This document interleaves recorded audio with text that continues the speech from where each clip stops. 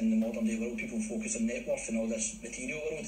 They forget the self worth and that self esteem, and running gives you that. And like running 100 miles, I recommend to anybody.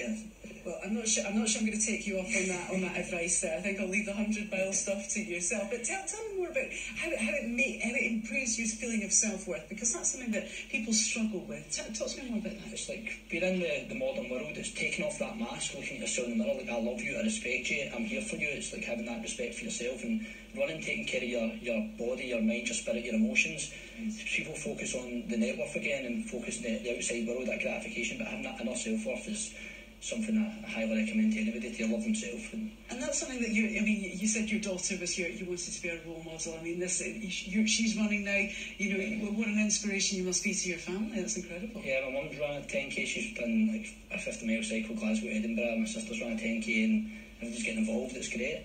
Wow. And just quickly, uh, William, what would you say to people? I'm sure there's many people watching this who just think there's no way I could run 5k.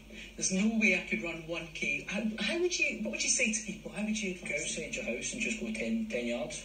Yeah. And just enjoy nature.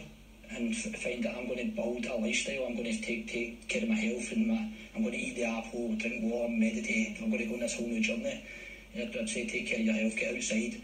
Whether it be one mile 10 miles, 20 miles, let's just get outside and just love yourself, love the experience of this life. And that's fantastic advice. Thank you so much, William Robertson.